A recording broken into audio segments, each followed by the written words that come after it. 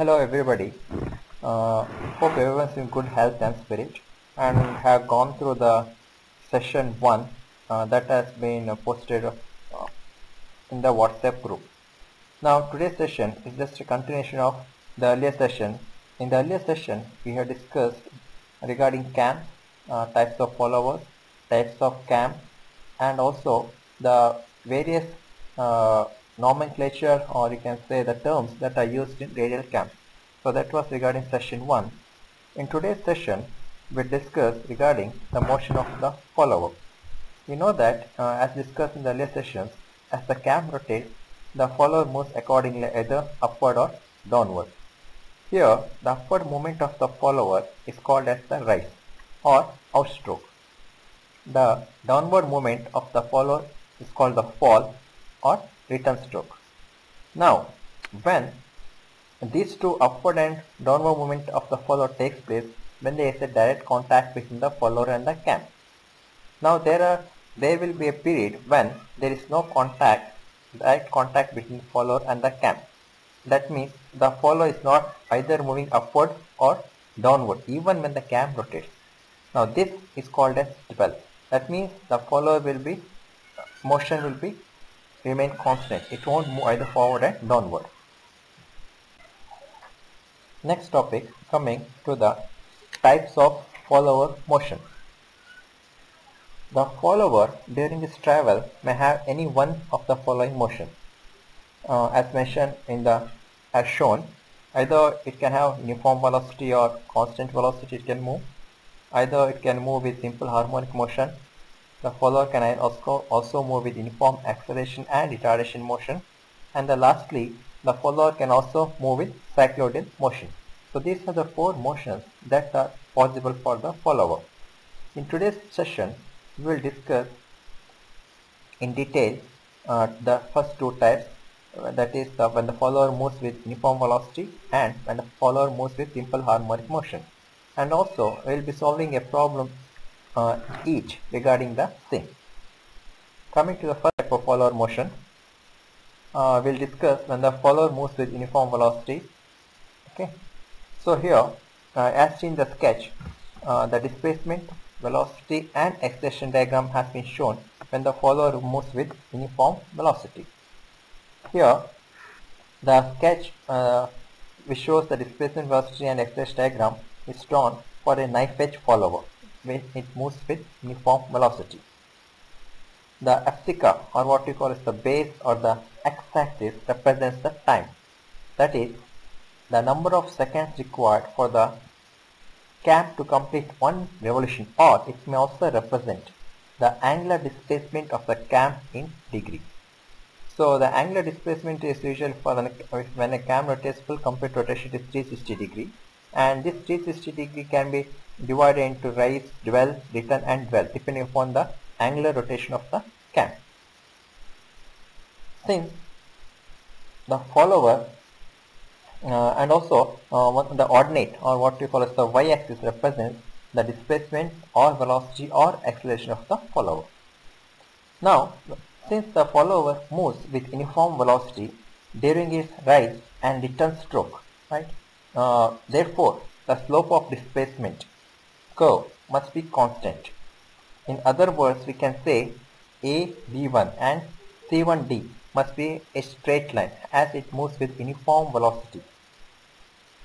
And if we uh, and if we uh, look at the sketch, uh, we can see that the periods during which uh, that is the periods during which the follower remains at rest. That means uh, when there is no direct contact between cam and the follower, it is called as the dwell period and these dwell periods are shown by the lines B1, C1 and D and E in the sketch, the figure A.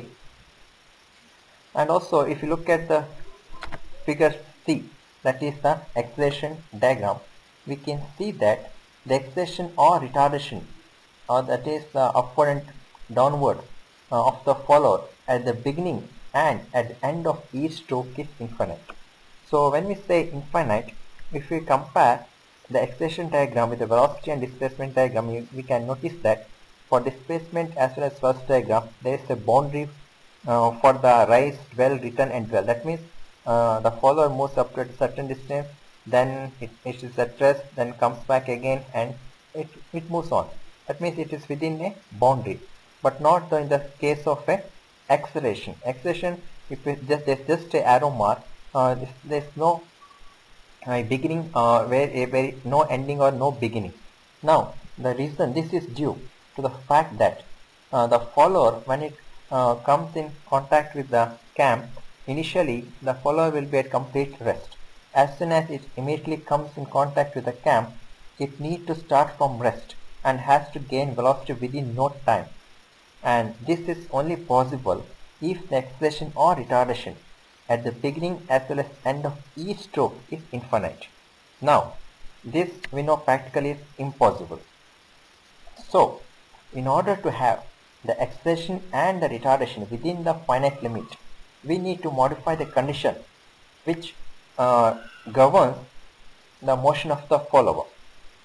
Now, this may be done uh, by just rounding off the sharp corners of the displacement diagram. Here, presently as in the sketch, the displacement diagram A, B1 and C1, right? So we can see there is a sharp corner because it's a uh, uniform velocity. But a small modification means we, if we just round off this sharp corner at the beginning and end of each stroke, okay? Uh, as shown in uh, uh, next slide, uh, you can just see. We can just modify the sharp corner B1 and C1 and we, we just round it off, right? So by doing so, the velocity of the follower increases gradually. There is no sudden increase.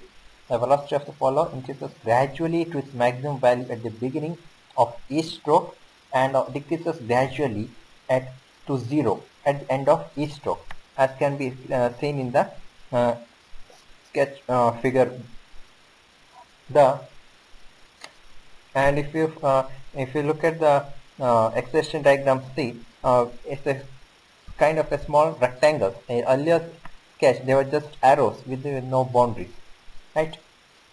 Now the modified displacement velocity acceleration diagram is how it looks uh, as, as, you can see on the uh, screen. The rounded diagrams are usually parabolic curves. Okay, uh, the curves that we are given is the instead of sharp corners, we just round rate of Uh, uh, the shape of the curves are parabolic in nature. So this is the displacement diagram, velocity diagram and acceleration diagram when the follower moves with uniform velocity. That you should uh, take care. When, whenever we solve the problems, they will clearly mention whether the following is follower is moving with uniform velocity or the simple harmonic motion or any other motion. Based on that, we will be drawing the curves. Coming to the next uh, with that is simple harmonic motion. So as you can see on the screen, uh, we have the displacement, velocity and as well as acceleration diagram when the follower moves with simple harmonic motion. Uh, how to draw the displacement uh, uh sketch that we'll discuss while, while solving the problems. Uh, here, if you look at the velocity diagram as well as the acceleration diagram, the follower as the follower is moving with simple harmonic motion. Therefore, the velocity diagram uh, what can be seen is, is of a sine curve and the acceleration diagram is a cosine curve.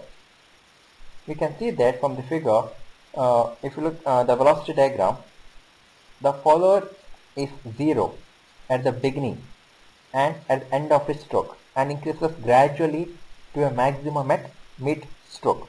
That is shown by the dotted line. That is max v naught that is maximum velocity during the outstroke okay v naught uh, o represents outstroke and r represents the return stroke. But on the other hand if you look at the acceleration diagram the acceleration of the follower is maximum at the beginning and the end of the stroke and it becomes zero or it diminishes to zero at mid stroke it's just the opposite of velocity diagram uh, so uh, to solve or to find the value of a velocity and acceleration diagram there are a couple of standard formulas that we'll be using. So this is uh, what you can see in the formulas that are used during simple harmonic motion. So these are the various parameters. S represents the stroke of the follower, theta naught and theta r. Theta naught represents the angular displacement of the cam during outstroke and uh, theta r represents the return stroke and omega is the angular velocity of the cam. Now to calculate the maximum velocity as seen in the previous slide that is uh, during the outstroke that is v naught it is given by the formula pi omega s by 2 theta naught and again we know that theta naught is the angular displacement of the cam during outstroke. Uh, to find the maximum velocity of the follower on the return stroke that is Vr uh, omega pi omega s divided by 2 theta r. Uh, to find the maximum acceleration of the follower on the outstroke uh, acceleration is represented by the notation a naught. A represents acceleration and zero, uh, uh, o represents the outstroke. The formula is pi square omega square s by 2 theta whole square so the again for the maximum acceleration uh, formula is almost same but uh, we are representing theta naught by theta r. That is a r acceleration or during outstroke maximum acceleration during out, it, uh, outstroke or uh, sorry it's uh, maximum acceleration on the return stroke okay? A small change modification I'll make those changes okay? The maximum acceleration follow on the it should be return stroke r. A r equals uh, pi square omega square s by 2 theta r square. So these are the uh, formulas that we'll be using whenever the follower moves with simple harmonic motion. So whenever solving the problems make sure that uh, you should be able uh, we should uh, we should see uh, actually actual the what is the exact motion of the follower. So based on that we will be drawing the displacement diagram and also we will be solving the uh, acceleration and velocity we will drawing acceleration diagram. So this was regarding simple harmonic motion. So let us uh, directly go to the problem okay? And uh, these problems has already been shared with you uh, a few uh, a few days back. So you can just uh, go through that same problem. And even in the uh, the problems that has been posted we have I have just mentioned step by step how to solve it you can either go through that or you can just listen to the you know, how in the, this video. So the problem uh, is given as a cam is to give the following motion to a knife edge follower. So it's written that the type of follower is a knife edge right? And these are the information they given. The outstroke during 60 degree of cam rotation it dwells for the next 30 degree of cam rotation. Return stroke during 60 degree of cam rotation and the last is dwell for the remaining 210 degree of cam rotation. Further they given the stroke of the follower is 40 mm. Here the stroke of the follower means the lift. The lift of the follower is 40 mm and the minimum radius of the cam is 50 mm. The follower moves with uniform velocity. That is important thing. Here they mention that the follower moves with uniform velocity during both the outstroke as well as the return stroke. They asked to draw the profile of the cam when the axis of the follower passes through the axis of the camshaft. That means the axis of the follower as well as the axis of the camshaft will be same. And the second part is uh, we need to draw the profile of the cam when the axis of the follower is offset by 20 mm from the axis of the cam shaft. So here when in the axis of the follower is offset by 20 mm they are not mentioned whether the offset is on the uh, left side or the right side. So whenever uh, it's just mentioned uh, which side the offset is is not if not mentioned then we'll just assume that the offset is on the right side. So the offset of the follower is uh, offset by 20 mm from the axis of the camshaft towards the right direction. So first we'll uh, we need to draw the displacement diagram. And remember as this problem. In this particular problem is mentioned for uh, knife edge follower and also they mentioned clearly that it is for uniform velocity. So we know that uh, for uniform velocity we discussed in earlier slide it uh, as it it moves with the uniform velocity it will be a straight line not not a curve. Now let us see how to draw the displacement diagram. So the first thing is that we need to draw a horizontal line AX okay and this AX will be equal to 360 degree that is one complete rotation of the cam now on this line that is on AX, we need to mark the outstroke, dwell, return and dwell as given in the problem. In the problem they clearly mention the outstroke is 60 degree. So measure 60 degree. Now before drawing uh, drawing the line AX uh, that is equal to 360 we need to take the scale. Suppose if we are taking 1 centimeter is to 10 degree it will become 36 centimeter. It's a bit little bit lengthy. But uh, uh, we can just uh, if not we can just 1 centimeter is to 20 degree right? So it will be around 18 centimeter. But it's left to you. If you want still smaller you can just you can just further uh, reduce the value right so in this particular I have taken 1 degree is equal to 1 centimeter is equal to 20 degree. Now uh, outstroke uh, it is 60 degree. Uh, if it is 60 degree according to a scale of 1 centimeter is equal to 20 degree it will become 3 centimeter. Again 12 30 degree I have marked. Then the return stroke 60 degree. And the remaining is that again well it is 210 degree. So uh, here you can see in the you can just um, I have taken the mark. uh, AS that is uh, that is the AS represents the outstroke S, S to T represents the dwell and T to P represents the return stroke and P to X represents the dwell. Uh, now the alphabetic uh, names uh, is left to you either you can uh, give A, B, C, D continuation or as shown in the figure. Now once the outstroke well and return stroke has been drawn on the line AX, the next step is we need to draw a vertical line that is AY and now this AY is equal to the stroke of the follower it's nothing but the lift lift of the follower and the problem they are mentioned that the stroke of the follower is 40 mm.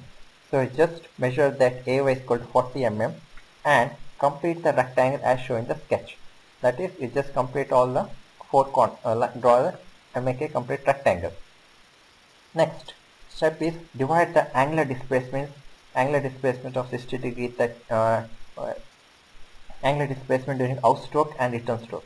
As uh, during the dwell we need not uh, divide it because the follower will be at rest there will be no motion so divide the angular displacement during the outstroke as well as the return stroke into any equal number of even parts it should be even parts it can be either 6 8 10 12 uh, it depends so here in this particular I have taken it as 6 and after dividing it to equal uh, 6 parts draw vertical lines through each point.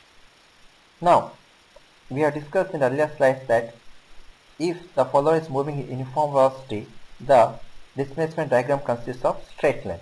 As in this particular problem, it is moving in uniform velocity, we need to draw a straight line. That means join A to G, that is the outstroke, then a straight darkened line dwell where it is at rest, then H to P again a straight line uh, representing the return stroke. And then P to X right? So the complete displacement diagram will be A G H P X. Oh, this point uh, this should be drawn with darkened lines so this represents the displacement diagram next coming to the cam profile so the first condition they mentioned is that profile of the cam and the axis of the follower passes through the axis of the cam shaft. So now here we'll discuss how to draw the cam profile. First, draw a base circle and in the problem they mentioned the minimum radius of the cam that is the base of the cam is 50 mm. So you take a compass, measure 50 mm and draw a circle with O as the center.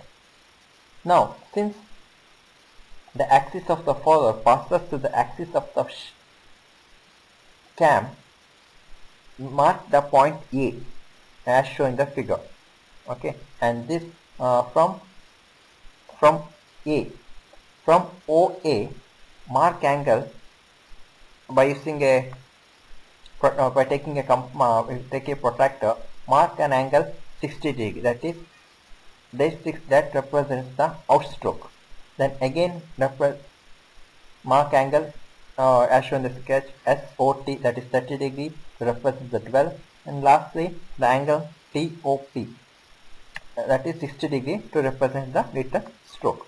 So, so that after drawing that uh, divide the angular displacements during outstroke and during the return stroke as has been done in the displacement diagram into the same number of equal parts as in the displacement diagram. In the displacement diagram, we have divided the outstroke as the return stroke into six equal parts.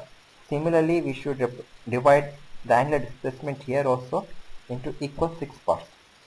Now, after dividing, uh, marking the points in the base circle, join the points 1, 2, 3 as shown, and also uh, O dash, 1 dash, 2 dash as shown uh, with OS center and produce behind beyond the base circle.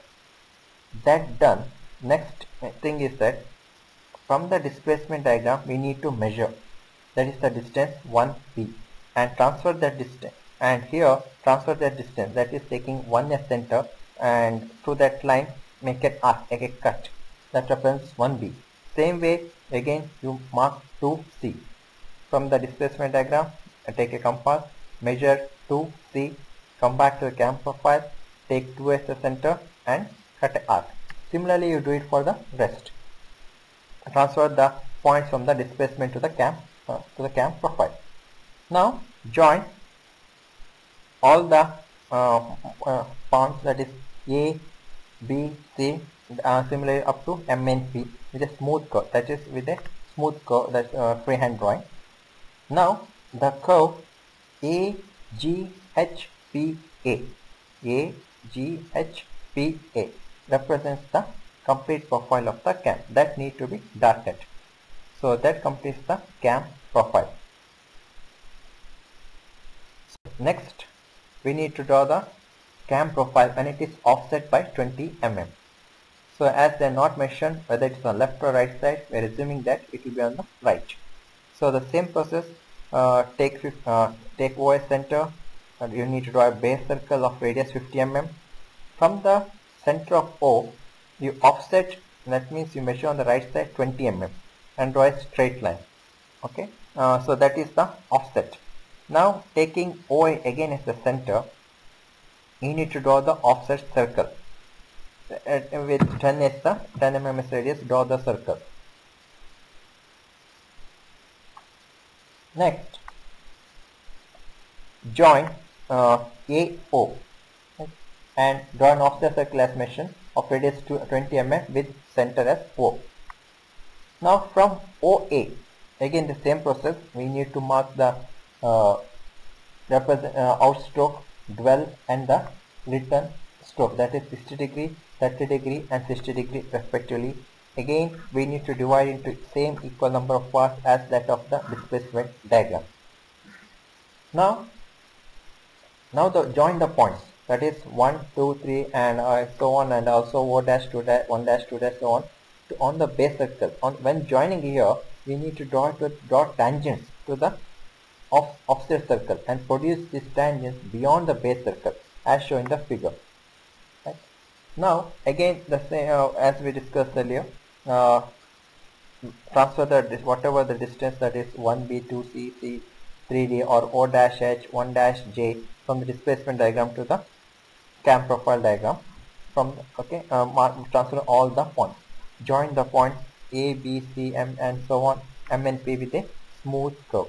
Now here the curve A G H P A is the complete profile of the cam. So by this uh, we, are, uh, we have drawn the cam profile when the follower is offset by 20 mm. So this completes the problem. Uh, to find the maximum acceleration of the follower on the outstroke, uh, acceleration is represented by the notation A naught a represents acceleration and 0, uh, O represents the outstroke.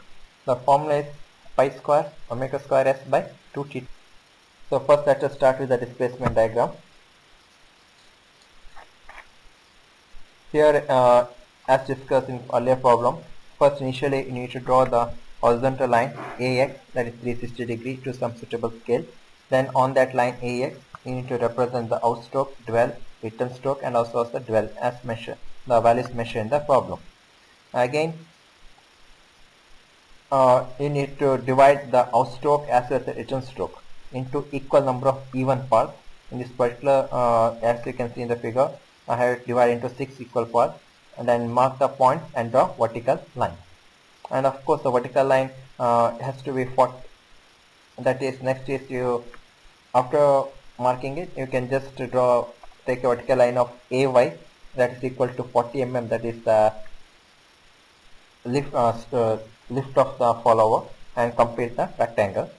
Then you just uh, draw all the vertical lines from the out stroke and the return stroke. Now since the follower uh, is, is clearly mentioned it moves with simple harmonic motion so we need to draw a semicircle with AYS diameter and divide into 6 equal parts as shown in the figure now uh, divide the uh, semicircle into equal numbers and name them. Now from point A that is small letter A, B, C draw horizontal lines and these horizontal lines will intersect the vertical line that has been drawn for the outstroke as the return stroke.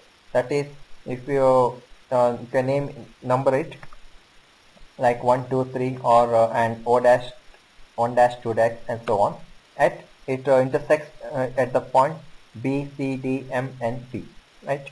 Uh, so if you uh, you just uh, wherever it intersects, uh, you can just make a point or a mark and you name it as capital letter A, B, C, D, E, F, G, and so on. Now join these lines A, B, C, D with a smooth curve as shown, and this is the required displacement diagram. Now once the displacement diagram has a follower motion, uh, we'll discuss when the follower moves with uniform velocity. Okay.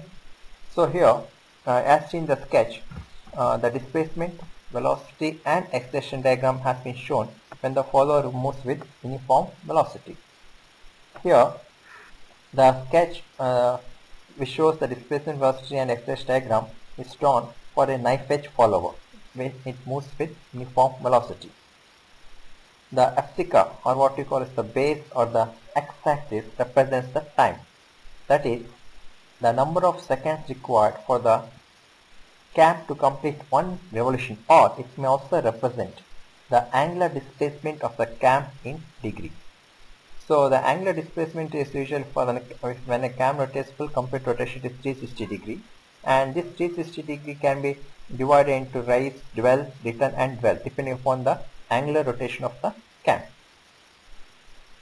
since the follower uh, and also uh, the ordinate or what we call as the y-axis represents uh, again the, when the cam profile is offset the same way here they are not mentioned with the offset is on the either left or right so we assume it on the right side.